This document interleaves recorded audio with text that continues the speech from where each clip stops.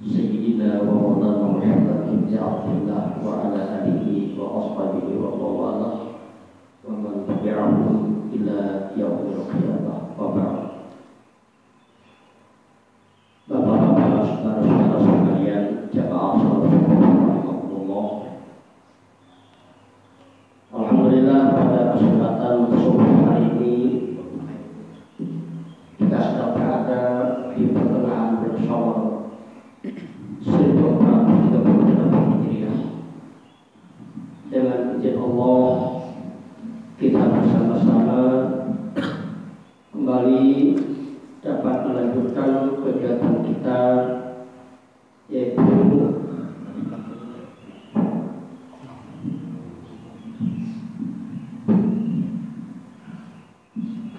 itu sehari subuh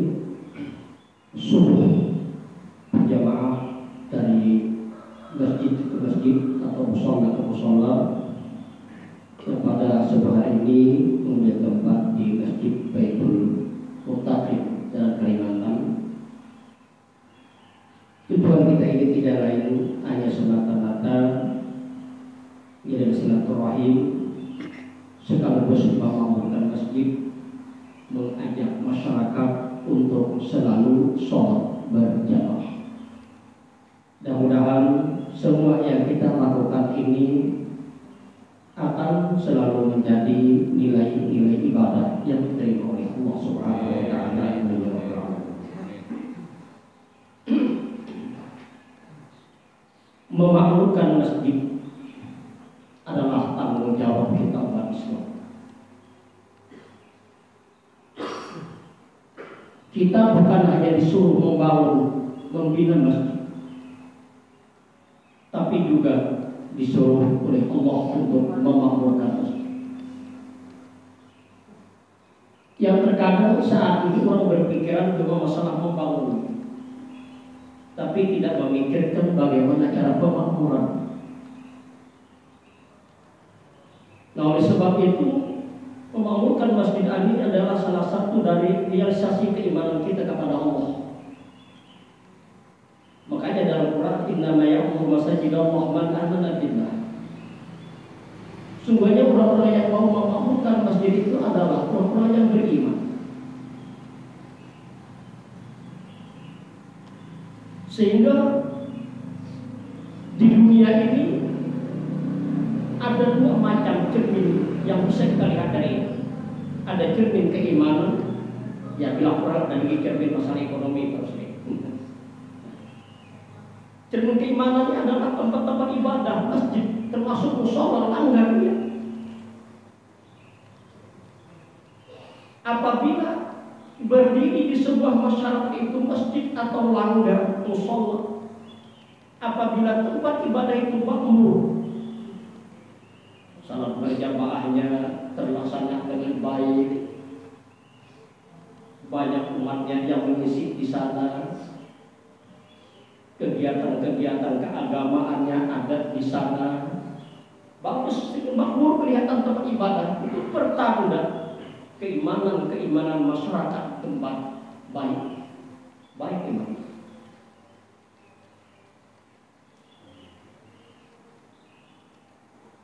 Nah, jadi mana saja apabila ibadah itu kelihatan makmur dengan berbagai macam kegiatan-kegiatan keagamaan itu pertanda iman masyarakat setempat baik.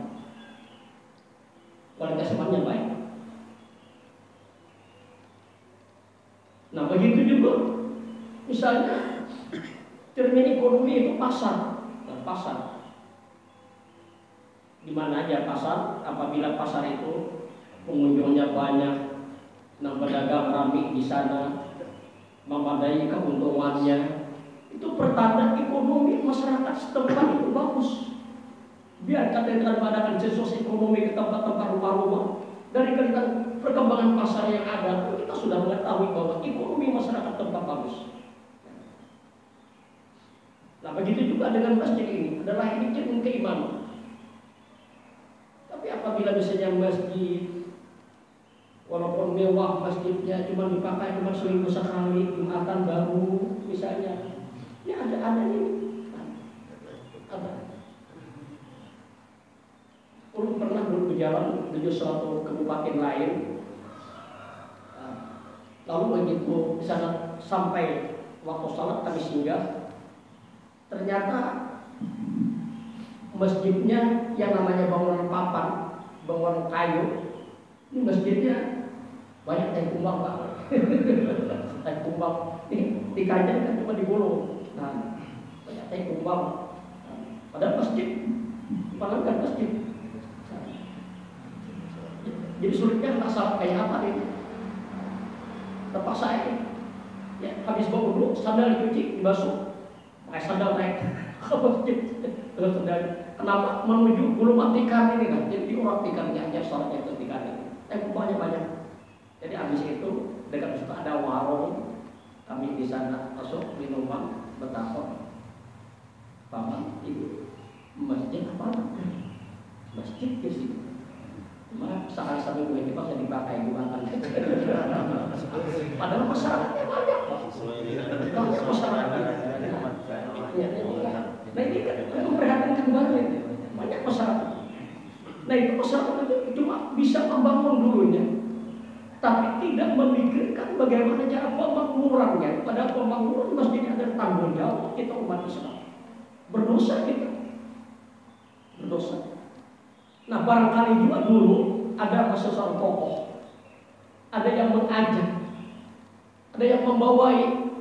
Sehingga bisa berdiri masjid tapi tidak dibentuk pengkadaran pengkadarannya tidak ada pengkadaran sehingga begitu seorang yang tokoh paling ini meninggal yang melanjutkan karena belum ada pengkadarannya yang melanjutkan tidak ada akhirnya bubar bubar saya banget itu nah ini ada nah jadi bukan hanya kita sekedar memikirkan bagaimana cara membangunnya Bagaimana cara memewahkan masjid itu? Bagaimana cara kita misalnya memodifikasi supaya bagus kelihatan? Tapi wajib juga kita memikirkan bagaimana cara pemakmuran masjid itu. Nah karena ini realisasi daripada keimanan kita. Pak Ibu sekalian, rahimahumullah. Sebabnya yang namanya masjid ini Yang namanya masjid adalah yang paling mulia di dunia ini. Khairul buqa'i dunia masa juga akan semacam Sebaik-baik tempat yang ada di dunia ini adalah masjid-masjid. Ini semulia-mulia tempat masjid. Makanya sebagai bukti kemuliaan masjid ini banyak. Kita masuk dalam masjid dengan niat i'tikaf menjadi ibadah. Bisa kita bertahan 10 menit, seperempat jam, apalagi satu jam kita bertahan. Selama kita duduk di masjid dengan niat i'tikaf, ini nilainya ibadah. Tapi apabila di tempat lain biar dua jam kita, biar setengah hari lihat i'tikaf, ah, ada menjadi ibadah. Orang-orang yang berhadas besar diharamkan masuk masjid. Ini apa? Bukti kemuliaan-kemuliaan masjid pada pandangan Allah. Walaupun masjid itu cuma tiang galak, atap daun limbah, cuma di sini hanya timbukan tanah, tapi sudah ditemukan masjid digunakan sebagai tempat sholat berjamaah, tempat jumatan, tempat yang cuma tiang galak, atap daun limbah semacam itu menjadi tempat yang mulia pada pandangan Allah ketimbang istana yang sangat begitu mewah, begitu mimpin. Nah, jadi Bapak Ibu sekalian, jadi ini banyak kemuliaan-kemuliaan masjid. Sampai dalam hadis Rasulullah ada tujuh puluhan manusia yang mendapat kenaungan di alam mahsyar nanti dengan rahmat Allah. Di antaranya ada rajulun qalbu mu'allaqun bil masajid Seorang laki-laki yang hatinya selalu tertarik dengan masjid. Ya selalu rindu dengan masjid. Pikirannya selalu terjumlah untuk masjid itu untuk orang yang ditunjuk sebagai pengelola masjid? Tunjuk sebagai pengurus masjid? Bukan pengurus masjid. Ya. kenapa? ya selalu berpikiran. Bagaimana cara masjid supaya bagus? Bagaimana cara supaya makmur? Bukan saja yang memikirkan ia juga mengajak orang selalu ada dalam masjid. Pikirannya selalu memikirkan masalah masjid. Ini namanya Allah bil. Kalau Allah bil masjid. Hati selalu tertarik dengan masjid. Ini orang mendapat ketahuan di alam masjid dengan rahmat Allah. Itu luar biasa. Nah Bapak Ibu sekalian. Nah oleh sebab itu karena ini memakmurkan masjid ini ada tanggung jawab kita sebagai realisasi daripada keimanan kita kepada Allah kepada Rasul. Maka hendaknya ya kita jangan cuma hanya memikirkan cara membangunnya, membinanya, tapi mari juga kita pikirkan bagaimana cara pemakmuran masjid tersebut. Karena masjid ini mempunyai fungsi ganda apa masjid ganda masjid bukan hanya sebagai tempat sholat tapi masjid ini bisa kita gunakan dengan macam-macam gunanya fungsinya macam-macam. Tempat sholat tempat menimba ilmu tempat diskusi tempat seminar. Macam-macam. Nah begitu. Keistimewaan keistimewaan masjid pada pandangan agama kita. Bapak-bapak, saudara sekalian, jemaah subuh rahimahullah. Makanya dari itu, kalau berkaitan dengan masalah ibadah sholat di masjid, di langgar, ya, musola. Nah, cuma langgar musola ini sebutan kita orang-orang Indonesia benar. Kalau yang namanya di Arab itu semuanya masjid, kan? masjid, masjid ini, masjid ini. Nah, adanya langgar, musola ini sebutan kita Indonesia aja. Nah, kalau di Arab semuanya masjid, masjid. Malah kalau pakai dulu sholat ada itu cuma balai. balai bagi Samsul. Musa itu balai balai. Yang ke balai. Bingung, kenapa dulu balai? Balai pelanggan. Ada balai. Nah, apa ibu sekali? Jadi kalau berkaitan bicara masalah sholat di masjid, ini adalah sholat yang paling utama. Kita laki-laki itu sangat dianjurkan sholatnya itu di masjid dilanggar di musola yang kita bangun. Makanya mengenai sholat berjamaah mengenai sholat berjamaah ini macam pendapat para ulama. Ada sebagian madhab yang mengatakan bahwa sholat berjamaah ini adalah fardu ain bagi kaum laki-laki. Fardu ain. Artinya kita sholat cuma di rumah. Laki-laki masih berdosa. Perlu air ini ada, ada sebagian ulama yang mengatakan di kalangan baca Imam Maliki ya kan. Nah ada lagi yang berbeda di kalangan Imam Ahmad bin Hambal. Nah ada lagi para ulama yang mengatakan sholat berjamaah ini syarat syarat dalam sahnya sholat. Ini ada juga. Artinya bila akan berjamaah laki-laki pada sah Nah, ada Nah, di kalangan majelis Syafi'i ada dua macam. Ada yang mengatakan sholat berjamaah itu fardu kifayah. Nah, ini majelis Syafi'i ya, fardu kifayah. Nah, ada.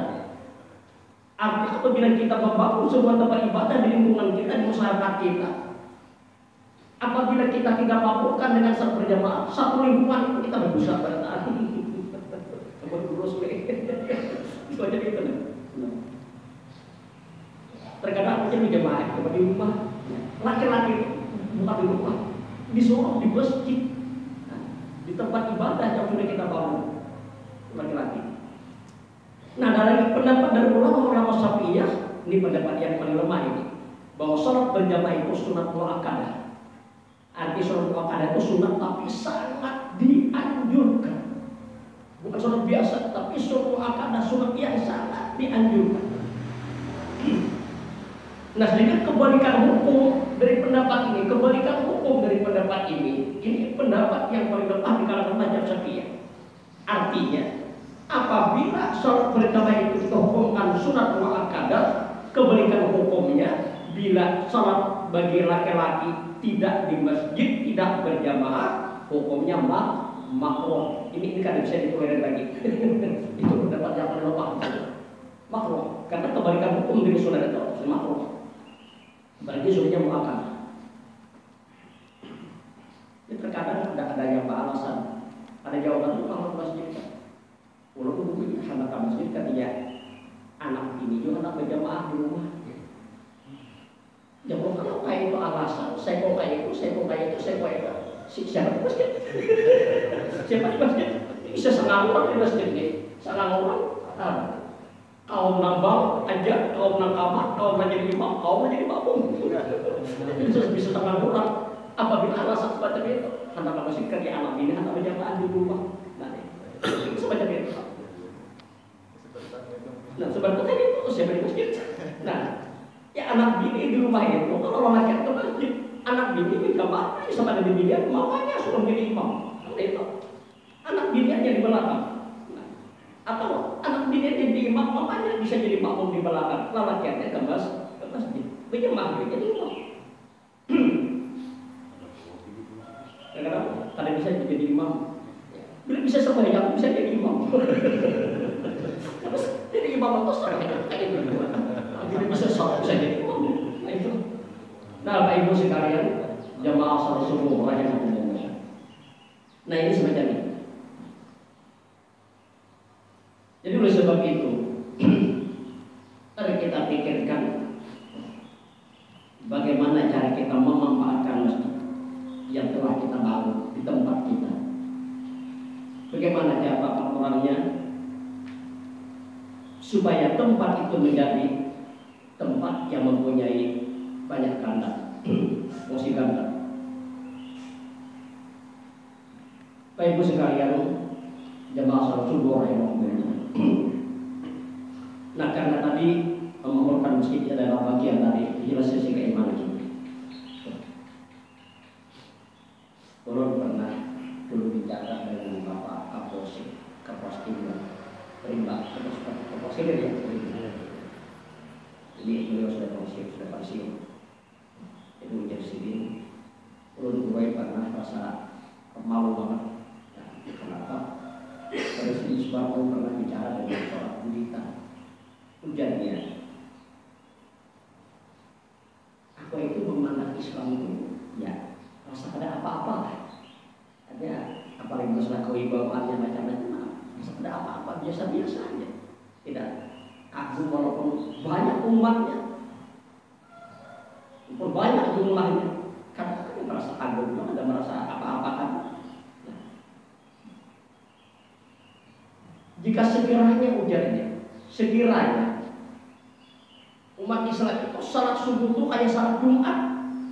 Nah apa jadi agung dari Islam itu? Mereka kata semacam itu salat subuh itu kayak salat Jumat. Aku kagum dengan itu andai kata jadi semacam itu. Nah ini sudah satu banyak kepada kita. Memang sesuai dengan hadis Nabi. Sesuai dengan hadis Nabi. Kekuatan Islam itu bisa dilihat dari pelaksanaan salat berjamaah. Kekuatan Islam makanya Nabi menyuruh sholat jamaatan Allah Allah kurbahu sholatlah nabi. Sholat kamu berjamaah. Allah akan menyatukan hati-hati kalian. Sholat berjamaah. Allah akan menyatukan hati-hati kalian. Artinya apa? Apabila sholat berjamaah ini selalu kita lakukan hati-hati Islam akan disatukan. Apabila hati ini akan disatukan oleh Allah yang namanya sudah satu yang berat sekalipun bisa menjadi ringan yang ringan bisa menjadi berat apabila hati umat ini sudah menyatu maka insya Allah tidak akan terjadi perselisihan pertikaian yang mengundang perpecahan apa segala. Tapi di sinilah kelemahan-kelemahan kita. Di sini kekurangan-kekurangan kita sehingga terjadi macam-macam. Perselisihan, pertikaian apa segala yang mengundang perceraian ini segala. Nah jadi oleh sebab itu para ulama-ulama tadi berbagai macam perbedaan pendapat di dalam pandangan terhadap sholat berjamaah. Tapi tadi yang paling kurang paling lemah sholat berjamaah adalah sunat muakkadah, sunat yang sangat dianjurkan. Malah ada yang berpendapat tadi kan fardu ain, ada yang berpendapat syarat sahnya sholat. Karena kalau kita baca dalam riwayat Rasul, mulai sholat itu diwajibkan oleh Allah kepada baginda Rasul sampai di penghujungan hayat beliau di dunia. Rasulullah tidak pernah sholat tabu itu sendiri tidak pernah seluruhnya tidak pernah sendiri sampai subuh yang terakhir dikerjakan oleh Rasulullah yang ketika itu sakit beliau sudah begitu parah. Sudah begitu parah. Fisik beliau sudah begitu lemah. Panas tubuh beliau sudah semakin tinggi. Yang rasanya subuh itu beliau sampai menyuruh supaya menjadi imam digantikan oleh sahabat yang lain. Subuh itu. Ali bin Abi Thalib menantu beliau masuk ke masjid menyatakan bahwa Rasul menyuruh si A untuk menjadi imam. Kenapa beliau tidak hadir ke masjid karena sakit beliau sudah begitu parah mendengar kata-kata semacam itu sahabat itu. Bukan langsung sholat tapi malah bisa riuh tangis di masjid. Karena Rasulullah pagi itu tidak bisa hadir di masjid. Riuh tangis. Nah, karena banyak tangisan di masjid ini terdengar oleh Rasulullah, beliau sedang sakit di rumah mendengar tangisan para sahabat ini. Rasulullah bangun dari baring. Apa yang terjadi di masjid sahabat menangis tidak sampai hati juga beliau. Sehingga beliau minta antar ke masjid. Minta antar. Minta bawa ke masjid. Sehingga Ali bin Abi Thalib cucu beliau menggapit beliau. Berangkat ke masjid subuh itu dengan kepala yang sudah terikat. Dengan kain. Sampai sakit kepalanya sudah sakit, panas tubuhnya sudah begitu tinggi. Sing diganti oleh cucu beliau, oleh menantu beliau hadir ke masjid. Begitu masuk masjid Rasulullah, para sahabat baru begitu tenang. Baru salat subuh dimulai. Padahal ini salat terakhir yang beliau lakukan. Tetap beliau hadir ke masjid, walaupun tidak mampu lagi untuk menjadi milik Nah setelah saat itu beliau pulang ke rumah hanya dalam beberapa jam pagi itu juga beliau dipanggil oleh Allah Subhanahu wa taala. Nah, dari awal kewajiban sholat sampai di penghujung akhir ayat beliau, beliau selalu sholat dengan berjamaah.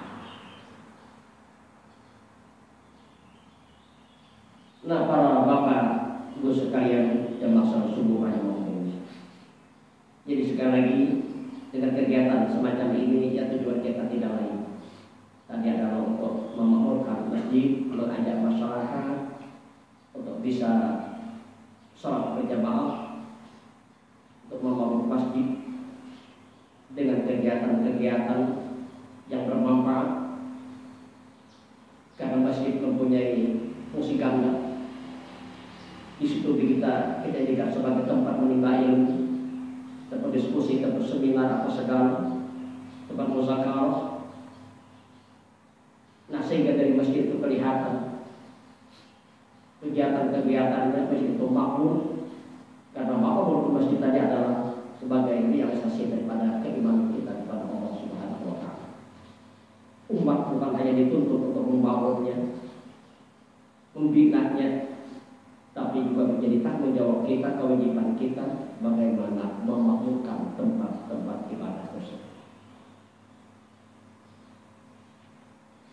Setiap saat, setiap waktu aja harus ada berkumandang di.